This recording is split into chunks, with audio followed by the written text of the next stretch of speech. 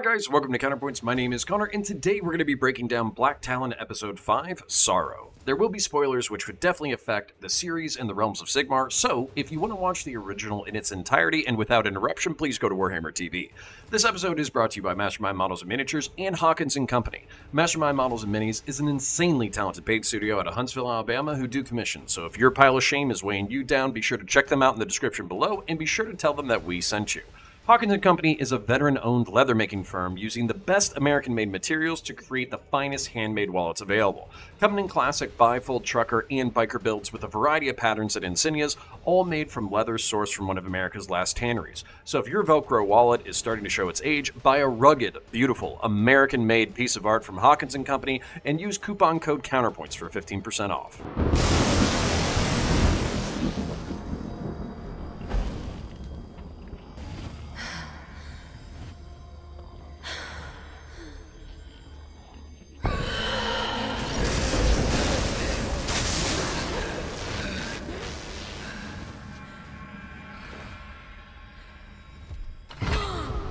In case you're wondering, you're quite dead.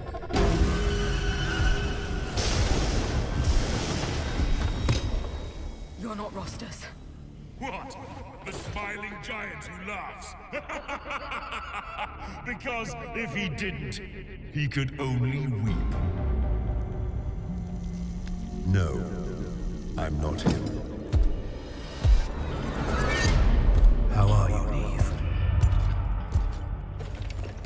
What do you remember?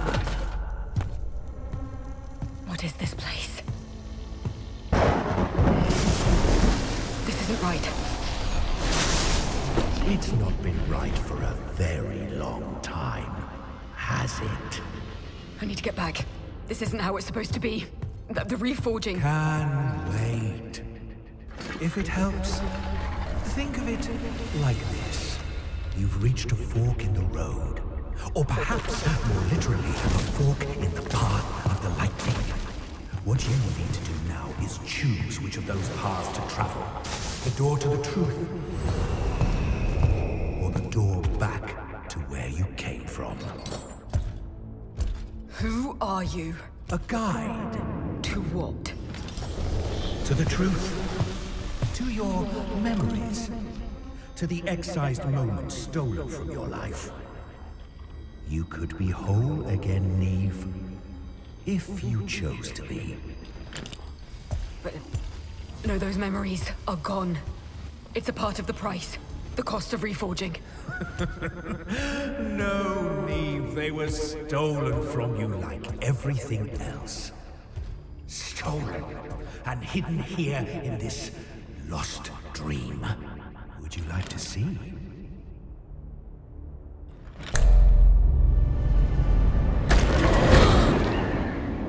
After all, who are we but the sum of our memories? I'll be right here with you.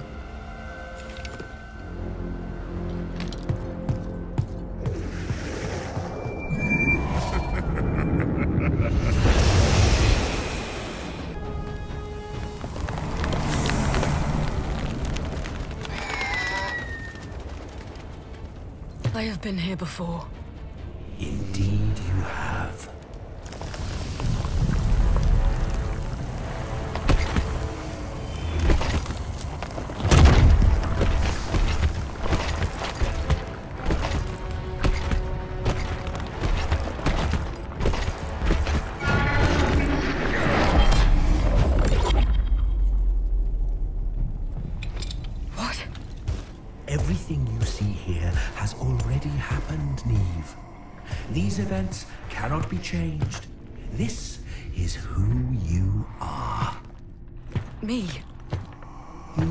Thought you were her, didn't you? That this woman, this mortal hero, was your true self. I am a Stormcast. One of Sigmar's chosen. A worthy soul plucked from death and reforged to protect order. You think she is worthy? She might have been a hero in the eyes of her people, but to Sigmar, she was nothing. He let her die.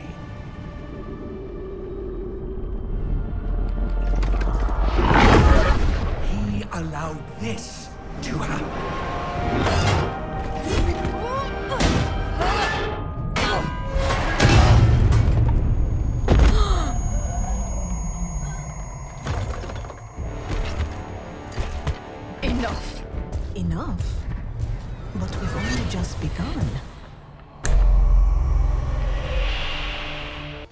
Was killed by her friend Hendrik in order to cover up a grave secret. Now, at a fork in the path of lightning, she is being hunted and counseled by a ghastly spirit taking on the form of her friends. The truth is that the Black Talon series is rewriting some of the lore surrounding Stormcast and Neve Black Talon, so what I will say next is a educated guess. It is mentioned in the lore that every time a Stormcast dies, the god of death, Nagash, and Sigmar, the god of order, struggle over the soul of the immortal hero. Each time a warrior passes through the storm, a piece of them is chipped away and given to the Lord of Death. Considering that Nagash would have met all of Neve's friends and have memories and insights into all of them, it makes sense that either he or one of his minions is currently shepherding Neve and attempting to manipulate her with the truth. The god of death would be interested in playing with the destination of souls because he has in the past manipulated the realms to his own ends. It was Nagash who first allowed in chaos, and it was Nagash who tried to create a superweapon known as the Necroquake to end life and bring all under his rule. The forces of order have been fighting chaos and death since the Age of Chaos and helped thwart Nagash's plans, reducing his power, ultimately only giving him command over the dead instead of ending all life in the realms. This is a pastime and plaything for Nagash to toy with Sigmar's heroes and see if he can get them to turn against their patron god. The Phantom, whether aligned with death or chaos, shows Neve the female warrior she thought she once was. One by one, they are brought down by the Horned Shadow Chaos Champion. Neve begins to panic as she realizes she remembers each champion, once believing them to be her as fervently as she believed herself to be Thea. There's just one problem, though. Her memory ends just as the great secret is revealed. And her. There are more. All who you thought were you, all cut down. Dozens more. Dozens. Why are you showing me this? Because you wanted to know who you are. Did. Did this horned shadow kill me too? Is that why I keep seeking out its victims? Trying to claim their lives as my own? In a manner of speaking. But why are these the stories that I've lost? Stolen Stolen by who? How did you get here? How did you die this time? I. I. There is darkness within all of us, Neve. Even those we consider friends. All you have to do is remember. Go no further. You don't need to remember more. You are who you are. I was not her. I was not there. I. I'm so sorry, Neve. But you will not remember this.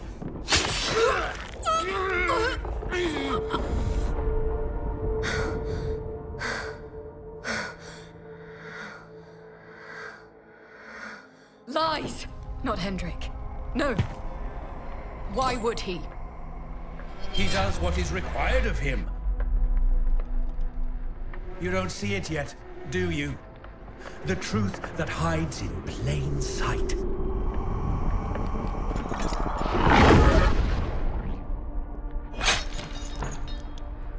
He is not your friend. He is your jailer. Charged to hold the leash that binds you to Almighty Sigmar. And he is good at his job. Could it be. Lysandra? No. I, I wasn't her. I. I.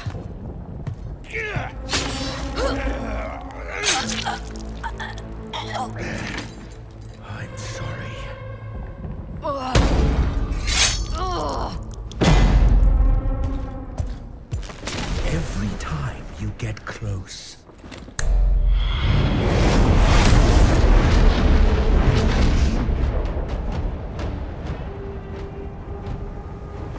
She was here. I was here.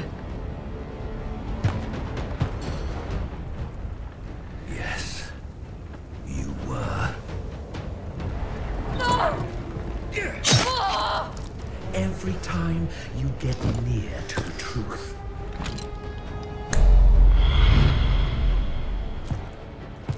This is where it happened. I'm sure of it. But, but this. This wasn't me. I. I was. forgive me.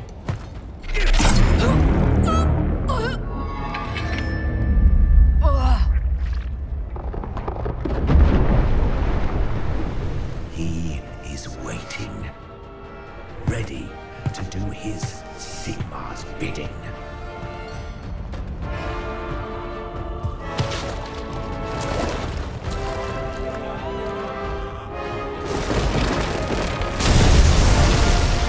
How many times? We've lost count, but it's been a long time. Hendrik being charged as Neve's jailer opens up a massive moral conundrum.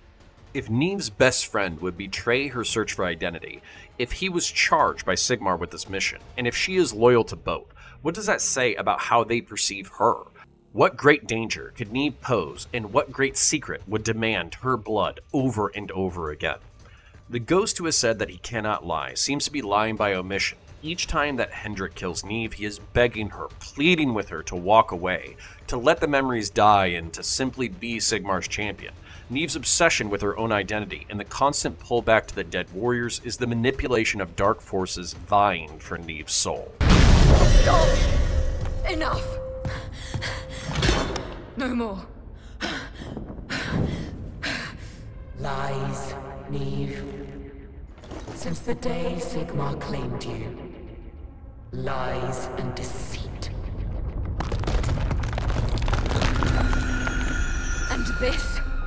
How do I know this isn't a lie? I've already told you, I cannot lie to you. Why? Why not? Who are you?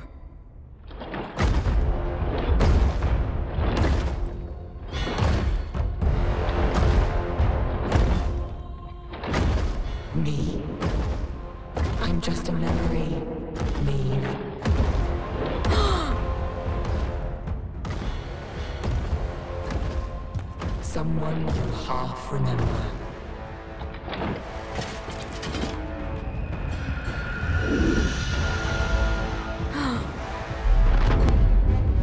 No. No, no, no, no, no, no. I'm the answer you've been searching for. The only answer you need. I am you. I was never you. Never! You have always been me. Deep down, you know that, don't you? You can fight it, rage against it, but you cannot deny it. Not anymore. Before Sigmar stole your soul and cleaved it in two, this was who you were. Who you've always been. Not a black talon, but a claw of chaos. Then what Sigmar offered me was redemption. Offered? Offered suggests that you had a choice. He saved me. From what? Free will? From myself. From what I was. From what I would become. But with no choice. Because Sigmar fears what choice you would make if you really knew the truth. That is why Hendrik does what he does. Because he must preserve the lie. And fear. And the others I thought were me. We killed them, Neve. Every one of them.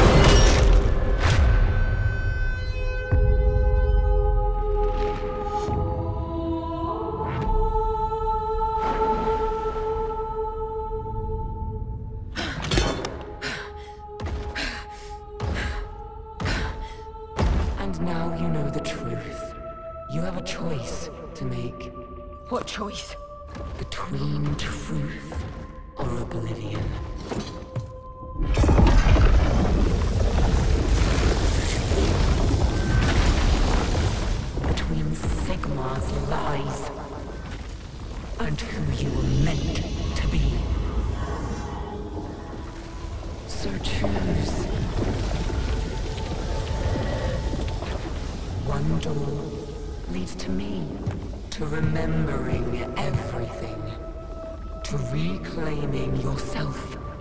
The other, to comfortable ignorance and the unending search for meaning.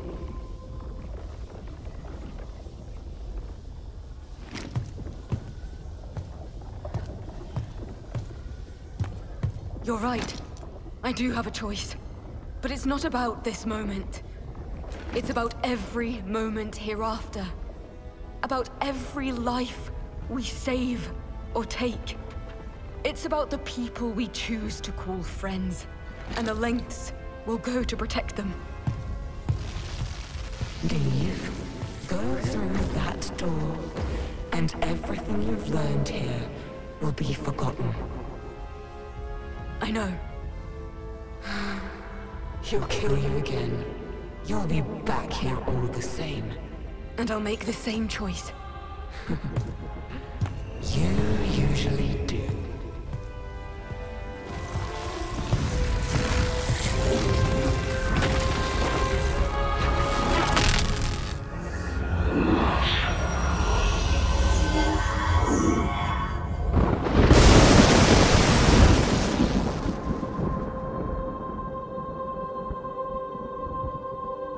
do. Neve's skepticism of her tormentor is justified, as this is just what the forces of death and chaos would do to claim a soul for themselves. The Phantom reveals that Neve was the Horned Shadow, a chaos champion and a killer of heroes. Sigmar stole her soul, cut it in two, and purified half for his own purposes. The dark half of her soul calls to Neve through the Phantom, saying they can be whole again. She can have her memory, her power, and fulfill her destiny as a champion of chaos. The Phantom twists the knife, revealing that not only has she been lied to, but rather than a champion of order plucked by Sigmar for his wars, Neve is actually responsible for the death of a dozen heroes not important enough to be saved. Sigmar lied to her, failed to protect his own people, and even chose a champion of chaos over his own subjects. Neve rebuffs this offer, viewing losing half her soul and her memory as a price she is willing to pay for redemption. She also has faith in her future self that when she dies again and is presented with the same memories and the same choice, she will choose to fight for order again and again. The Phantom playfully agrees that they've done this before. The reason I love this episode is because of what it teases out about right and wrong. If you have to make a choice between sacrificing your own soul and memory to do the right thing instead of offered power and self actualization but towards a nefarious end, what do you choose? It's also interesting to see Neve have faith in her own redemption, that she will make the same choice again and again. It's also haunting because what will happen if a Stormcast as powerful as Neve becomes a champion of chaos, filled with the secrets of the Stormcast, able to use their many battles on behalf of the forces of order against them? This goes all the way back to episode 2 about Sigmar's Great Gambit, where he bet great and terrible things on the shoulders of Neve Blacktalon, which brings us to the end for now. Games Workshop has politely and forcefully requested that we do not use the entirety of episodes in our reviews and breakdowns. I view it as my job to cut out a healthy chunk of the content, so you have an incentive to go check out the original. But to leave enough in there with the meat and bones of the episode, particularly the grisly and satisfying violence, while filling in the gaps with informative and compelling lore. I genuinely do love creating this content, and it forces me to expand my knowledge of the universe and not just rely on my passion. So if you like my breakdowns, like, share, and subscribe. Ring the bell so you can see wherever new content drops. Comment down below and feel free to fight out in the comment section over lore narrative interpretations. If you can't think of anything to say, then type out comment for the comment gods. I'll salute you in real life with an Aquila, but I will reply with an 07 in the comments section saluting you for your service. Become a YouTube or Patreon member to help support the channel, or check out our sponsors. I appreciate you. I'll catch you in the next one. Until the end. Special thanks to The Talenton X, Trippy Liquids, Aircraft Sparky, Dylan Verdea, Stephanie Luminous, Tam, Ken, Sport Brand, Andrew Coey, Flippant Hubris, Drusty, Hippopotati, Happy Road, Christian Stafford, Michael Cranston, Sky Anon, Enclave Operator, It's Harold, Jaeger Bradley, Sir Pubert, Eagle Watch 123, Bizard, Flaccid Phoenix, TSG Comics, Fezzles, Diogenes, Crabs Go Pitch, Tazegrove, Astronaut Farmer, The Real Birdman, Soren Axelson, The One Above All, Bud123, Fondue, Deus Halcyon, Vokes, Drazar, Lucifer the Doberman, Female Escort IRL, Tango Hotel, Mitchell Johnston, Sir Liamson, John, Poofy, Leo Whitmer, Froggy Style, Adrian, Azriel, Cole G, Grassroots Hegemon, Christian Valeris, Name, Sir Fortesque, M. Penner, Weekend Jail, Exart Logan, and Jamalin.